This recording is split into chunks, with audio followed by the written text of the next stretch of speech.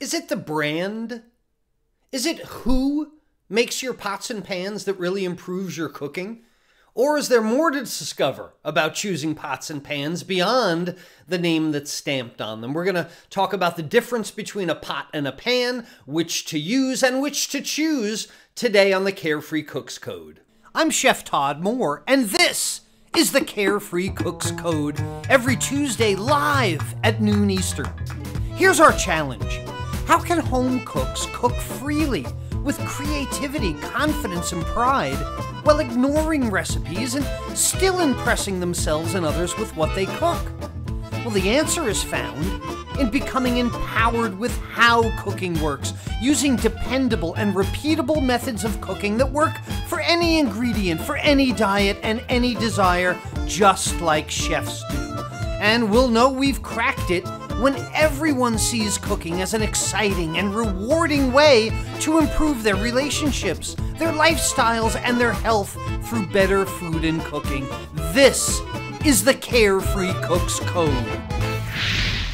Hey, welcome back to the Carefree Cooks Code, everyone. This is the weekly show for the methods, the techniques, and insights into better food and cooking. Of course, we're live every Tuesday at noon Eastern. And if you're looking for any of the past videos, you can find the archive on Facebook. Go to facebook.com slash chef.todd.mohr slash videos because I'm a carefree cook. I create my own recipes. I bring friends and family together. I learn every time I cook. I create my own cooking style because I practice pro methods and I wind up loving my cooking. That's supposed to be a kitchen, right? That that looks like a that doesn't look like a bathroom wall. I, I suddenly noticed that's supposed to be a kitchen. I'm gonna have to redo that, I guess. Okay, look, we'll get right to it. I'm gonna tell you right up front uh, that you don't have to spend a lot of money on pots and pans to be a carefree cook to be proud of the food that you make and present to other people. Just like you don't need the most expensive golf clubs to, to play golf well, you don't need a rare guitar to play music or piano, you don't need fine sable brushes to paint, because how you express your skill and art is what makes it special. How you go about it, it's it's not how much you spend on tools. I mean, I've talked about this before. Have you seen Willie Nelson's ratty guitar? He calls it Trigger, and it's got a hole in it and and Willie's doing pretty well with the whole music industry thing, I think. So that's what we need to talk about today. Where is your tolerance level of what you can spend on your budget and what you want to use and cook with? But first, I've got a true or false for you. Tell me in the comments section below, please, either the word true or the word false. The statement is this: cooking in aluminum pans increases your chances of getting Alzheimer's disease true or false in the comment section below. Okay, here's what drives me nuts. Are you keeping a list of the things? Here's what drives me nuts. When I see a TV commercial or, a magazine ad or anything, something online for kitchen pots and pans that make it seem like if you only had this pan, that this pan, then you would magically also have the skills that you would need to use the pan. I used to be in the wedding industry. Wedding caterer would go to these wedding shows where they sold these pans and they made it look like it was the pan that did the cooking. Well, look, I hope it's obvious to everyone that it's not the pan that makes you proud of your cooking. If that were the case, I should have left the catering industry, gone over, and started selling those magic pans and forget about all this teaching the world to cook in a new way stuff that I've been doing for 12, 13 years now. Wouldn't that be great? It'd just be easier to sell pans. All you got to do is buy a certain pan, a specific gadget, get your Insta Stick, your sous vide air fryer, uh, and then you never have to worry about actually developing any skill in the kitchen. Um, like here's the story, uh, absolutely true story. When I was a kid, I was a caddy at the very famous Shinnecock Hills Golf Club in Southampton, New York. I was kind of one of the towny kids that, that came and caddied. And I didn't know how good I had it walking around Shinnecock Hills, fabled golf course. And, and I developed an interest in golf, caddying in my early teens, but I had no golf clubs. And this is not an exaggeration. When I'm about to tell you, I was so became so obsessed with golf that I built my first golf club. It was a block of wood like a two by two block of wood. I drilled a hole in it at an angle and I put a bamboo stick and glued it in there, put a screw in it, I think, to hold it in.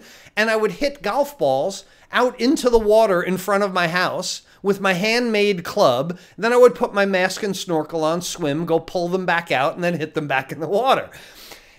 Anyway, my point is, I got really good with the bamboo and the block of wood golf club. I could hit the ball with it. It was the worst golf club in the world, but I could hit the ball and skip it a few times off the water. Well, one day my mom came home with a five iron, a metal club, a real one from a garage sale, right? It was my first real golf club. I was so excited. I couldn't hit the ball for nothing. with that real golf club. It's it's like I had to relearn. It took me another week to learn how to use that real club because I had started on my bamboo block of wood club and you know, I'm not sure if my golf game has ever gotten any better since the days of my handmade club. I, sh- I should have a bag of them, but since then, I've owned lots of golf clubs, lots of sets of golf clubs, and each probably more expensive than the previous, but none of them made my golf game any better by themselves because learning the techniques, learning the methods that can be applied to any golf club is what made me a better golfer. And I hope you get my point here. You don't need a $200 pan to cook well. If you want one, that's up to you, but it's not necessary for cooking that you can be proud of. So let's talk today about what pots and pans you need, what pots and pans are made of, which ones to choose, and it might help you make a better decision when you do go shopping. All right, so first let's talk about pots versus pans so we have the right nomenclature. A pot is generally straight sided and has two handles. Pots are categorized by volume. You get a one quart pot, three quart pot, two liter pot, the volume of it. And this is the thing that you use for moist cooking methods. You use them for stocks, for soups, for liquids, as opposed to pans. Pans are generally slope sided. They're round, shallow. Uh, a braising pan can have a straight side, but generally uh, a sloped sided. And this is going to have one handle usually, and they're categorized by diameter. 7 inch, 10 inch, 12 inch, 132 centimeter, things like that. This is generally for your stovetop frying, uh, conductive methods on the stovetop, right? One is for moist indirect methods, the other is for conduct- conductive direct methods. So think about like how much of your cooking do you do? Do you make more stews? Do you make more sauces? Like if you make a lot of sauces and cook for two people like I do, maybe you need a little tiny half quart saucepan, you know, to whip up a little bit or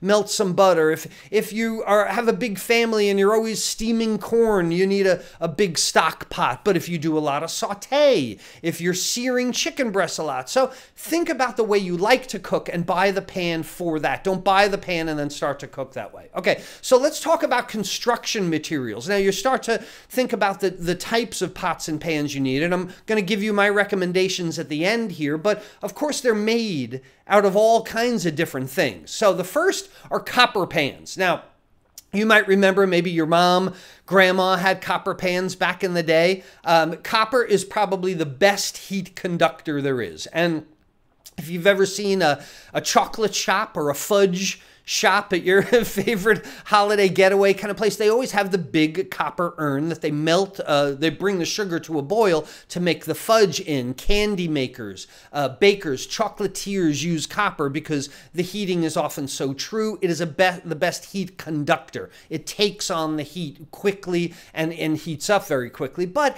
it's caustic. Uh, it, it reacts with acids. You don't ever want to put juice in a copper pan. Now, a lot of copper pans usually have a stainless steel inset or something like that, but they do scratch, they do dent, they warp, uh, uh, they tarnish as well. It's a very soft metal, so it's expensive, it's a soft metal, but for the right uses, if you make fudge or do a lot of candy, you might want to do that. The other end of the spectrum, uh, copper being the most expensive, the other end of the spectrum are aluminum pans. Now, aluminum is a very good conductor of heat, and that's why you find most pans made of aluminum. It's light, it's cheap.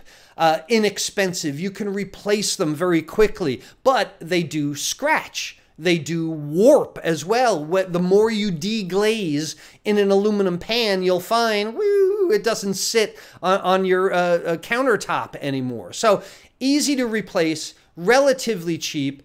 Uh, uh, it, you can do all kinds of things to them and not worry about ruining a $200 pan in that regard. Which brings us to stainless steel. Now, stainless steel is actually a very poor conductor of heat. It takes, you might notice, it takes a long time for your stainless steel pans to heat up. Stainless steel pans get hot spots also. You could see it if you just heat it up and cool it down, there will be like little brown spots on your stainless steel pan, but it's the most durable pan. You can't scratch it. You can't bend it. You can't warp it. You can't break it. It's really durable. And if you spend 200 bucks on a stainless steel pan, you'll probably have it the rest of your life. Won't scratch, won't warp. Uh, just when you learn to control the heat in a stainless steel pan, you may wind up loving it, and a lot of people do.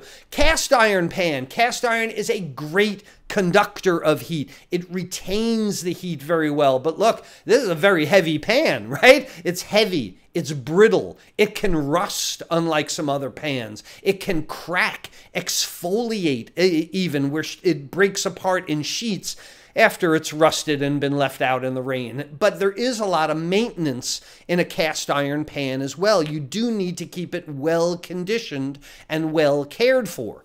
Now, some of the other materials that you can find, we don't often find a glass saute pan. You usually find a glass casserole pan or a glass roasting pan. This is because it retains the heat very well. It, it doesn't conduct it. It, it uh, uh, it doesn't take it on like a copper pan, but it retains it. And this is why your casseroles, uh, this is why when you put something on the potluck uh, display, the glass pan is going to retain that heat. Doesn't conduct it very well, retains it very well. Of course, it's non reactive, it's not going to react with juices or, or acidic ingredients, but it's fragile and it's actually very dangerous in the kitchen. In the commercial kitchen, we don't have any glass pans because, oops, you drop it, it breaks and shatters. In the home kitchen, you might run into ceramics as well. Ceramics can be the best of both worlds because it is a very good conductor of heat and it also retains the heat very well. So it gets hot quick, holds on to the heat. Good for baking, good for casseroles, non reactive, relatively inexpensive, but again, it can chip it can break. And the other thing is it can stain. Uh, you don't want a direct flame. Uh, you don't want to put your uh, your ceramic ware onto the stove top because it'll stain it as well. Uh, enamels.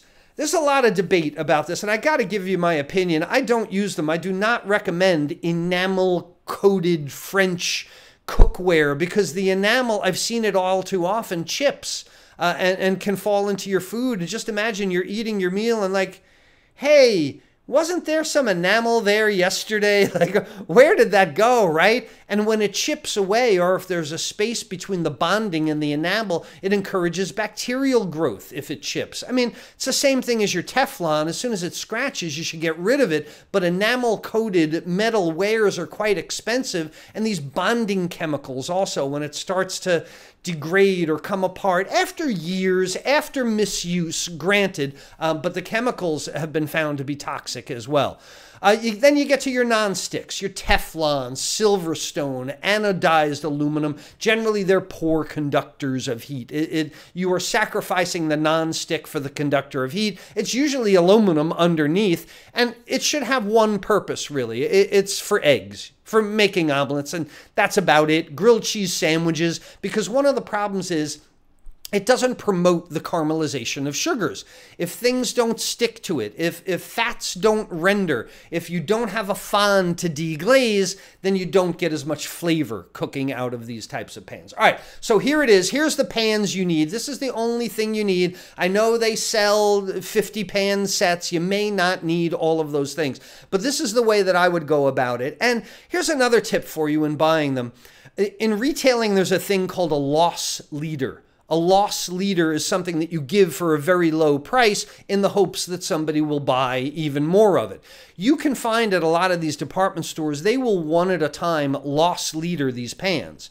So one month might be the seven inch omelet pan is a really low price, 50% off, but the rest of them are expensive. But you may find two months later, if you keep an eye on it, they do it to other pans as well. It's a good way to put a good set of pans and, and get a good price on it as well. But here's all you need get yourself a 10 to 12 inch saute pan, one handle, sloped sides. Most of your cooking will, will probably be done in this pan quickest, easiest, fastest way to build a sauce in your saute pan. Get a 7 inch saute pan. This is for searing something, sauteing some onions that go in your crab cakes, smaller amounts of food. Have a larger 12 inch braising pan. This is for your low and slow cooking for tenderizing items over a long period of time. You can make stews in here, braising meats. And lastly, I recommend a 9 inch or a 7 inch Teflon non-stick omelet pan for doing eggs and omelets or sauteing very starchy things, uh, sauteing dry pasta or potatoes that potentially would stick to your stainless steel. Uh, when it comes to uh, uh, pans, get yourself a one quart saucepan, a three to five quart saucepan, and a, a 12 quart stock pot and those actually should be all pots. Anyway, one quart, three to five, 12 quart is what you need for your moist cooking methods, for sauces, for pasta, uh, uh, for steaming things, and so on. When you get into the oven, you're going to need a 12 by 9, probably glass baking dish. Uh, get some sheet pans, 18 by 12 or quarter sheet pans to put things in the oven and warm up. I really like my pasta maker Boil, simmer your pasta with a strainer that lifts right out, and similarly, a vegetable steamer with an insert. Those are my recommendations for the pots and pans that you need in your home. Uh, and when it comes to cleaning them, people always ask me, yeah, Chef Todd, how, how come your pots and pans are always so clean? I don't put them away dirty. that, that's how. Make sure you clean them thoroughly after each time you use them because all that burnt on stuff really takes away the heat having it stained on the bottom in between the heat source is going to take away some heat. They, they work less effectively. Um, stainless steel inset pans, if there's stuff stuck to them, deglaze it, heat it up, deglaze them, uh, swish the water around, scrape those burnt on bits. It's a great way to clean your pan before it makes it to the sink. Let your pans cool especially your aluminum pans. Don't take them right to the cold water. You may warp them as well. Um, if getting stains off a stainless steel pan doesn't work with just deglazing them, try some white distilled vinegar as well. But be careful of the fumes in the, the vinegar. Uh, it is uh, can be really toxic. When I uh, worked as a short order cook, when I worked a short order grill at the end of my shift, you know, the grill's got all kinds of burnt on cheese and stuff and things like that. Uh, I would pour ice cubes onto the hot grill. Not the best thing to do, but the ice cubes made it a violent boil, deglazed everything, scrape that off, and I would pour white vinegar uh, to get the black parts off. But I also had a very powerful exhaust hood, so I don't recommend doing that at home. But white vinegar can help. Maybe do it outside on your grill. White vinegar can help take stains off stainless steel, or just some old fashioned elbow grease, uh, a scouring powder. Uh, wet the pan, put the scouring powder on, let it absorb the liquid, and use some elbow grease to scrub it off. Uh, people always ask me about seasoning a new pan. Uh, the, the pan will become seasoned. I think it's overrated. You don't need to season a new pan or season a new grill. Cooking with the pan is seasoning. Grandma's cast iron hand me down pan, why is it so valuable? Not because she originally seasoned it in 1920. No, it's because of the generations of meals that have been cooked on it. And I can tell you, speaking of cast iron, it should not meet water. The best way to clean your cast iron is with a lot of salt and a paper towel. Salt will absorb grease. Salt is abrasive when you scrub it around. So, look, if cooking is your hobby, if it's your excitement for the day, uh, if it's also your health and relationships, like we talk about, and if it's part of your personality, then you might want the best equipment your budget can handle. I get it. I mean, I like to buy stuff to help me express my creativity too. Find the best pots and pans for you, but use the same methods that you would on any pot or pan that you had. I mean, a $10 pan, uses the same cooking methods as a $100 pan. That's what I'm here to tell you today. Uh, okay, so let's see how the pots and pans are being used inside our Carefree Cooks community for lifetime members of web cooking classes. Uh, while I'm here, lifetime member of web cooking classes means you have access to all 48 weeks of web cooking classes for your life. It does not mean you have access to everything Chef Todd ever does. Um, it's like when you go to college. If you take Literature 101, you pay your tuition for the course, you pass the course. If you ever wanted to take it again, you'd have to pay that college again. Here, web cooking classes, you have a lifetime membership for web cooking classes, access to web cooking classes, the 48 weeks for your life. Then there might be other stuff that you really like and want to support our cause. But I'll tell you, somebody, if you go into our Carefree Cooks community, you are going to find some amazing cooking going on and people that are appreciative of all the, the skills that build one on another in web cooking classes. Jason is one of them. He's in Minnesota. He does some really skillful outdoor cooking. He's got some chicken breasts. He's got them on the little tabletop Weber grill. He doesn't have to have the greatest grill, although he's got this flat top that I'm so jealous of. That that is a great. But the point here is Jason puts together a really pretty outdoor plate with a side salad and a scoop of mashed spuds. And it wasn't the greatest piece of equipment. It wasn't the hugest kitchen. It's outdoors in his backyard. That is a really nice, friendly meal. Speaking of friendly, Bill made shrimp and grits for a birthday party dinner and served it family style on a tray. I don't know that I've ever seen that. I think that's so cool. It's really brilliant. You know, I might forego the turkey at Thanksgiving this year and just carve the shrimp and grits on the platter. I think that's fantastic. Nicely done. Carefree cooks are able to give of themselves, right? Bring their friends and family together. And we all know that Don, uh, Don knows how to put some nice brown caramely color on scallops, doesn't he? That's because how he controls the heat, not because of the brand of pan that he uses. You could probably give Don six different types of pans and he'd be able to do the scallops that way in each. He's not like, oh, I can only do it in one pan, right? So served up with peas and risotto, another nice method, nicely done. Look, remember, when you use dependable and repeatable methods of cooking, it eliminates the need for recipes, for cookbooks, for gadgets, for specific food and all the worries over what's for dinner tonight because you can always whip something up. Okay, let's get back to the true and false here. Listen carefully, please. True or false, cooking in aluminum makes you more likely to get Alzheimer's disease. This is patently false. Please, please stop believing this. Please stop telling other people this. As a matter of fact, let's just go to the Alzheimer's website let's go to alz.org and go to their myths page, right? We need to stop this today. Myth number four, it says drinking out of aluminum cans or cooking in aluminum pots and pans can lead to Alzheimer's disease. Reality. During the 1960s and 70s, aluminum emerged as a possible suspect in Alzheimer's.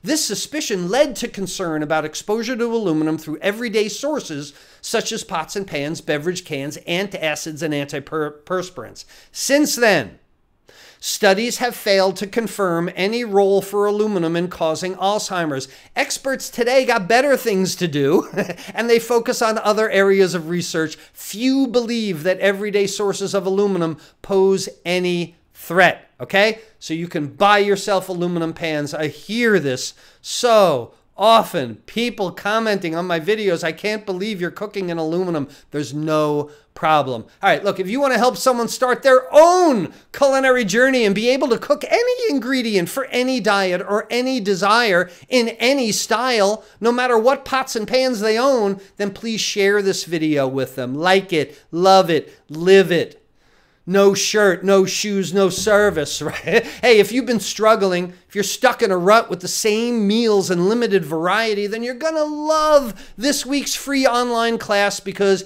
it combines the step by step cooking methods with creative ideas that are going to get your juices flowing. The class is called the Meal Multiplier Formula to Get Dinner Done. And I share my six element formula for inventing meals on the fly. And you can choose your upcoming class time at webcookingclasses.com slash multiply. Webcookingclasses.com slash multiply. Hey, thanks for being with me on another Tuesday, the Carefree Cooks Code. Until next Tuesday, where we take even more steps toward breaking it. Uh, this is Chef Todd Mohr reminding you that there's a method to your cooking success.